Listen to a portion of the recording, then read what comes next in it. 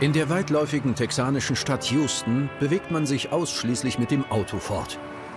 Man befördert darin seine Handtasche, seinen Einkauf und auch seine Waffe. Das ist kein bisschen verboten. Der Schießstand ist hier ein Hobby wie jedes andere. Wenn wir unseren Kunden eine Waffe verkaufen, raten wir ihnen, in einem Schießstand zu üben. Eine Waffe zu tragen ist ein fester Bestandteil der texanischen Mentalität. Nicht nur zum Jagen oder als Sammlerstück, sondern auch zum eigenen Schutz. Anders als in anderen Gebieten der Vereinigten Staaten gründet die Entstehung von Texas auf Feuerwaffen.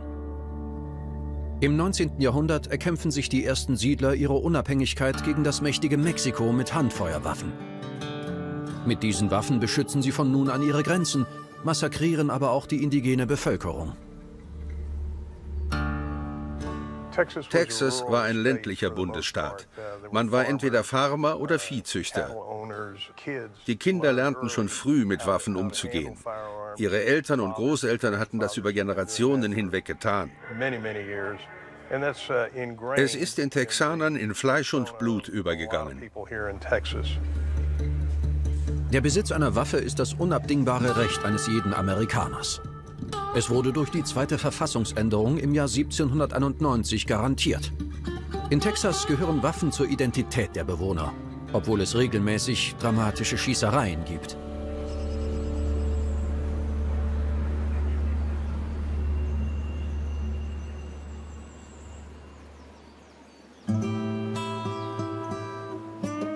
In den weiten Ebenen von Gonzales County gibt es zahlreiche Ranches, wo Texas Longhorn-Rinder friedlich weiden. In diesem feuchten und mückengeplagten Gebiet finden sich noch heute Spuren einer Schlacht, die sich vor knapp 200 Jahren zugetragen hat.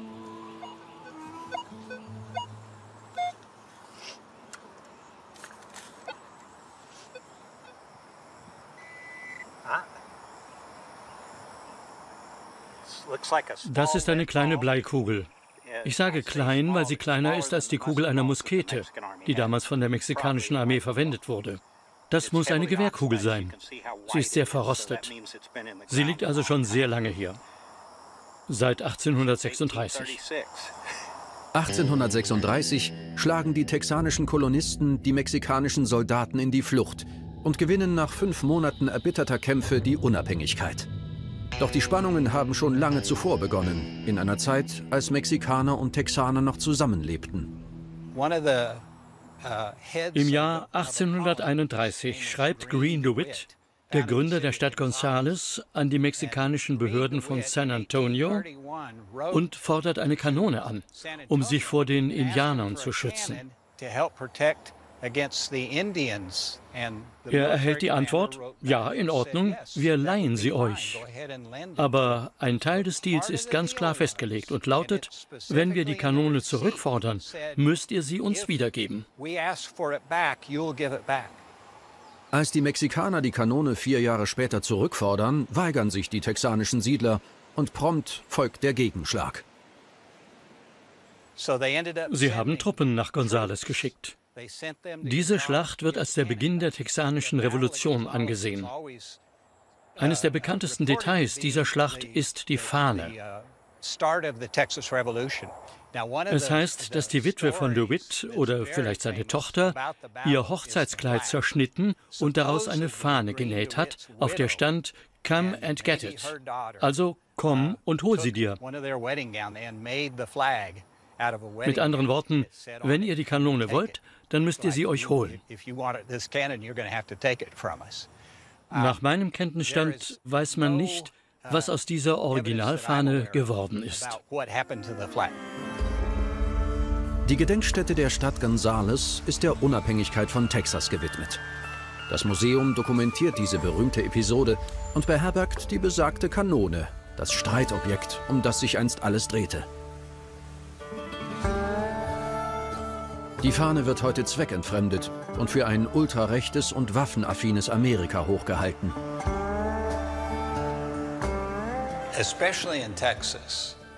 Vor allem in Texas, aber auch anderswo in den Vereinigten Staaten sind die Fahne und der Slogan Komm und hol sie dir zum Wahrzeichen bestimmter, meist konservativer Gruppen geworden. Es ist ihre Art zu sagen, es ist mein Recht, ich bin frei, insbesondere bezogen auf ihre Waffen.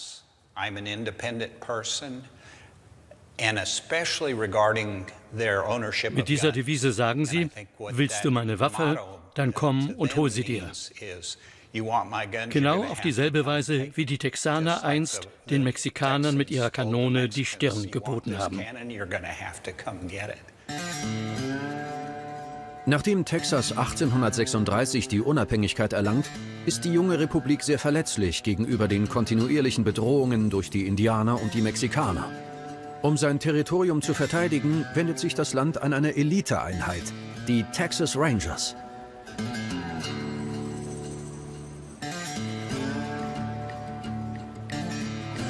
In Waco, am Brazos River, auf halbem Weg zwischen Austin und Dallas, befindet sich das historische Hauptquartier dieser Söldner. Die Hall of Fame glorifiziert das Heldenepos der Ranger. Und deren Schicksal ist mit einem ebenso großen Feuerwaffenmythos verbunden, den Revolvern des Erfinders und Industriellen Samuel Colt. It is impossible es ist unmöglich, über Sam Colt zu sprechen, ohne die Texas Rangers zu erwähnen. Ohne sie wäre nicht das rentable Waffenbusiness entstanden, wie wir es heute kennen. Es gibt aber auch keinen Zweifel daran, dass die Expertise von Sam Colt dazu beigetragen hat, dass die Texas Rangers eine der besten Staatspolizeibehörden des Landes geworden sind. Und ohne sie wiederum wäre sein Name nicht in die Geschichte eingegangen. Uh,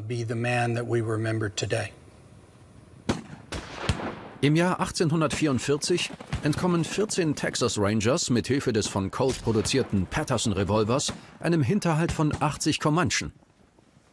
Die Überlegenheit dieses Revolvers ist eindeutig. Dennoch steckt der Unternehmer nur kommerzielle Niederlagen ein. Erst 1846, als Texas endgültig ein Bundesstaat der Vereinigten Staaten wird, um gegen die Mexikaner geschützt zu sein, gelangt Colt doch noch zum Erfolg. Und zwar durch den 29-jährigen Offizier Walker, der die Texas Rangers befehligt.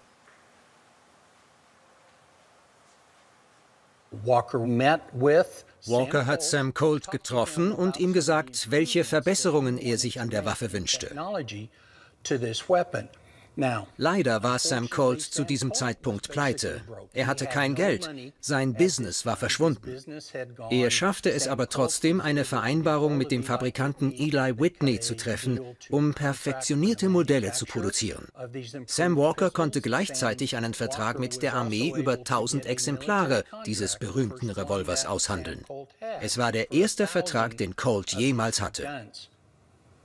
Both of these diese zwei Revolver sind seltene Exemplare. Sie wurden in einer Auflage von weniger als 1000 hergestellt. Soweit ich weiß, gibt es weltweit nur noch 100 davon. Das Revolutionäre an Colts Revolver war, dass sich der Zylinder automatisch drehte, wenn man die Patronenkammer lud. Uh, Samuel Walker und Sam Colt schufen danach gemeinsam das Modell 1847, uh, das gemeinhin als Colt Walker bekannt ist.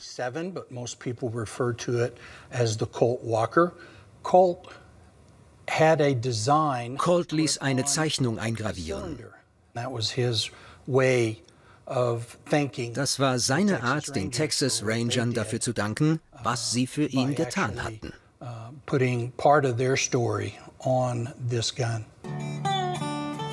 Diese Modelle sieht man auch in europäischen Museen. Sie sind nur der Anfang eines langen Prozesses technischer Perfektionierung.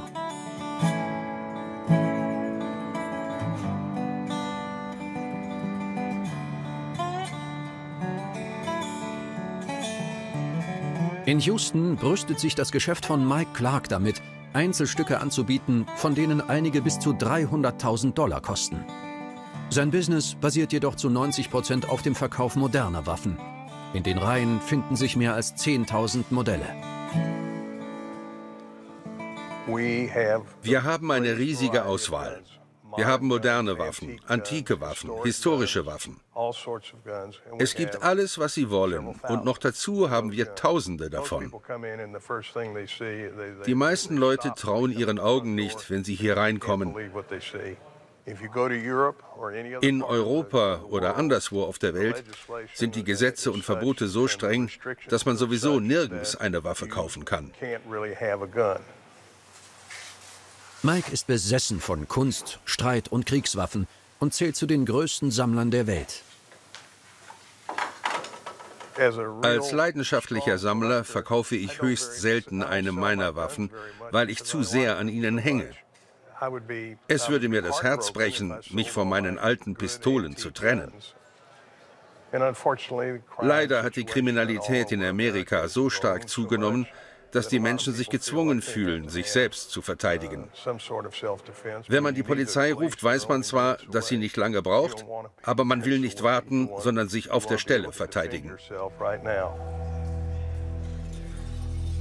Diese Überlegung hat überall in den Vereinigten Staaten zur wachsenden Verbreitung von Waffen geführt. Amerika wird permanent von dramatischen Massenschießereien erschüttert. In Austin, der Hauptstadt des Bundesstaates, wird am Turm der Texas University an das erste Blutbad in der Geschichte von Texas erinnert.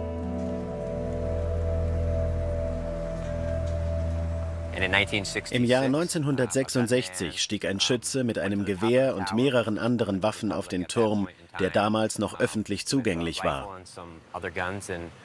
Er schoss auf alles, was sich bewegte. 14 Menschen wurden getötet, darunter auch ein ungeborenes Kind. Diese Tragödie gilt als erste große Massenschießerei an einer Schule oder Universität in den Vereinigten Staaten.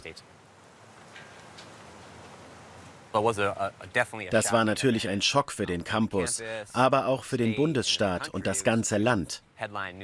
Es stand auf allen Titelseiten. Wer hätte sich damals vorstellen können, dass so etwas alltäglich wird? Wir sind jetzt bei 600 Massenschießereien pro Jahr. Das heißt im Durchschnitt ein bis zwei pro Tag auf amerikanischem Boden. Die tödlichsten ereignen sich in Texas. Am 24. Mai 2022 bewegt der Amoklauf an der Schule von Uvalde in Texas die ganze Welt. 21 Menschen sterben. Drei Tage später hält die mächtige Waffenlobby NRA in Houston ihren alljährlichen Kongress ab. In der ganzen Stadt kommt es zu Demonstrationen. Das Ereignis wird zum Skandal, aber nichts ändert sich. Leider bewirken diese Ereignisse noch lockerere Gesetze. Man denkt über die Bewaffnung von Lehrern nach, statt über restriktivere Reformen, die zum Beispiel verhindern würden, dass ein 18-Jähriger ein Sturmgewehr besitzt oder dass jeder eine Waffe mit sich herumtragen kann, ohne dass seine Polizeiakte überprüft wurde. Texanische Politiker und alle Verantwortlichen sollten eine offene und ehrliche Debatte darüber führen, was die Texaner wirklich wollen. 19 amerikanische Bundesstaaten haben bereits das Red Flag-Gesetz verabschiedet.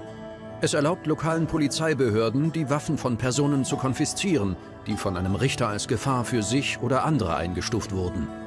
Texas weigert sich nach wie vor, im Namen der Freiheit, die über allem steht.